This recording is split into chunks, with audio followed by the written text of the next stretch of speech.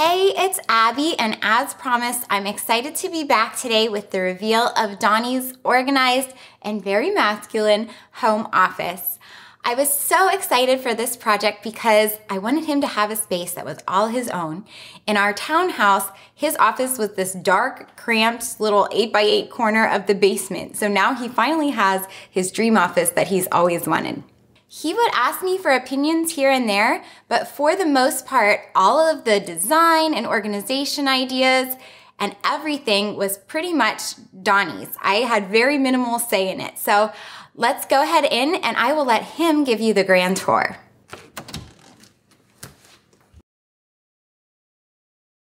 After I cleared out my office, I thought it was a good time to upgrade the window and door trim. With our new house build, all the windows came with a basic windowsill, but nothing around the edges and the top of the windows. So I added craftsman style trim around the windows and doors and painted them white, which I think really stands out next to the gray paint we used in my office. The paint color is called Chain Reaction from Behr. It ended up being a little darker than we thought it would be, but we really like how it looks in this room. I also installed bamboo shades that match the ones we have in our sunroom and living room. Before we get to the new organized shelves, I'll show you my new desk area. Years ago, I built a standing desk out of pipes in an IKEA desktop. It was nice, but there were just times when I really wanted to sit. I did a lot of research and decided to get a motorized standing desk from a company called Fully, and my model is the Jarvis. It's a 60 inch wide desk and has a bamboo top. The legs and frame are the natural color, which is just unfinished metal instead of metal that's been painted. The best thing about this desk is that it has programmable positions and can move up and down to the right height just by pushing the buttons. So over the course of a day, I'll move it from standing to sitting multiple times. So I'm really getting great use out of it so far. Now moving over to the wall of shelves, we'll start at the bottom and work our way up. One thing we really like about these shelves is that they don't sit on the floor. Getting everything up and off the floor just makes the somewhat small office feel a little bit bigger. It's also easy to keep the floor clean this way.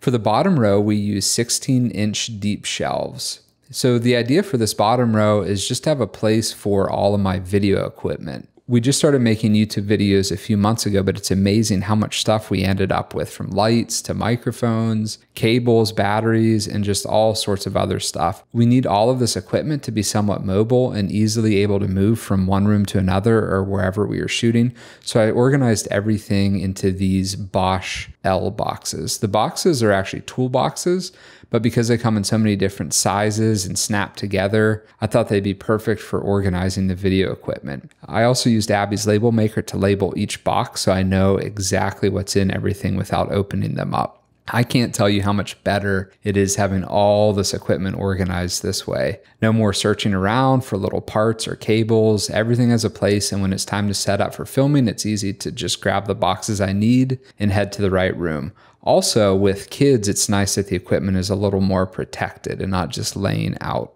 The bottom row is also where I have the wireless router and a little hard drive bay that we use for video storage. I did my best to bundle up all the cables and zip tie everything nice and neat so it looks a little more organized. Moving up, I have two rows of wire mesh drawers, deeper drawers on the bottom, and then a row of shallow drawers above. These drawers are about the greatest thing ever. They feel really sturdy and roll in and out very easily. It's nice that you can see into the drawers through the mesh to get an idea of what's in each one just at a glance without opening it. You can buy these little label holders made specifically for these drawers that snap into place. I'm still changing things around a little bit, so I haven't labeled everything except for the ones that I'm absolutely sure of. Now, I have to say, at first I wasn't convinced about being able to organize things in these drawers, but that was until I found these drawer dividers made to match these wire mesh drawers. The dividers are really great for the shallow drawers. In one drawer, I keep all the little office supplies and a few other things. And without the dividers, it would just be a big mess. But dividing it up into four little rows really makes a big difference. Above the drawers, I use a row of 16 inch shelves again, just like on the bottom row. This is the right depth to cover the top of the drawers. I decided to use this row of shelves for commonly used things. It's at the perfect height to get to easily. So on the left side, I have a row of little clear document holders from the container store.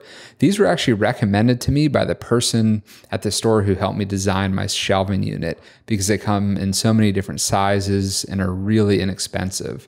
I think they're a great way to organize documents, but I also organize some magazines and notebooks in these. The little clip on labels help me know where to put things. Right now, I even have a couple empty containers. Nothing wrong with having some extra space for the future. Then right next to these clear containers, I have a little spot for my two cameras and lenses. There's only one there now because I'm using the other one to film. But I really like having them right there kind of on a little display shelf but it's also nice to be able to just grab them really quickly if I want to film something. And then for the rest of this row and the next two, I have nothing but books. These are 12 inch shelves, so they're recessed a little bit compared with the drawers and the bottom shelves.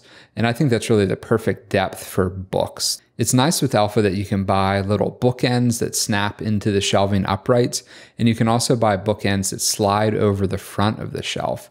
The ones that slide over the front of the shelf are a little more versatile because they can move back and forth on the shelf, whereas the other ones can only clip into the upright, so you're limited on where you can put them. On the second to top shelf, it's another 12 inch shelf. I have some boxes with pictures and a few other boxes that some of my electronics came in. It definitely doesn't look the best to have a row of boxes up here, but for me, it's more important for my office to be organized and functional than just look 100% perfect. And I am really excited about the top row of my wall of shelves it was really challenging for me to figure out where to store all the long and heavy video equipment like lights and tripods and mic stands. Before I redid my office, I just had everything piled up on the floor because they're so big and bulky and they didn't really seem to fit nicely anywhere. So I actually went into my design meeting at the container store and told them about the issue, and she recommended I use ventilated shelving for the very top row.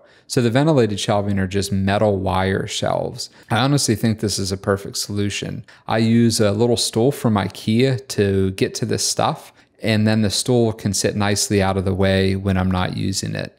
Because the shelves are the wire ventilated type, they're super durable, so I don't have to worry about scratching anything up. And I can also see from below what's on the shelves. At both ends of the top shelf, I use a little row of hooks that snap into the brackets.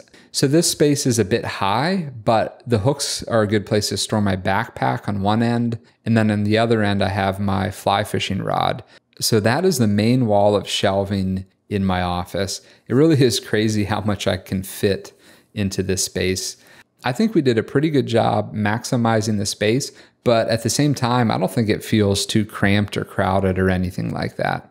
Now I'll show you what we did on the other side of the room. So this is where I sit and read and drink my coffee and look out the window. So what we decided to do here was use Elfa just to kind of match everything.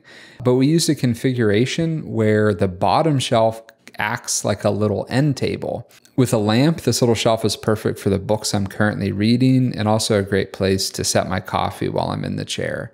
So with this new setup, I use the platinum colored metal Elfa grate that just snaps into the uprights. And then from this grate, I can hang little shelves and little clear storage containers, as well as hooks and all sorts of other things. I'm sure this arrangement will evolve over time, but it's really super easy to move things around on this grate. And then the top of this little reading area, I have a narrow eight inch shelf just with some decorative books. To finish things off in my office, I hung up some pictures that I already had. These two pictures I took years ago. The top one is from when I went backpacking through Denali National Park in Alaska, and the bottom one is a picture I took while canoeing through the Everglades with my college roommate. Above my chair, I have a reprint of a topographical map from Denali National Park. And then on the other side of the window, I hung these two pictures I made when I was a little kid. My mom found them a few months ago and had them framed for me, which was very nice. I think the bright colors look nice in my office. I can't tell you how excited I am about my new office. I'm realizing now that when a space is organized and set up the way you want, you just naturally want to spend more time in there. And so far, I've been spending a ton of time in my office, and I just feel so productive and organized when I'm in here. So if you couldn't tell, Donnie is just a little bit excited about his office. I think we hit our two primary goals for this space, which was for it to be organized and for it to be masculine.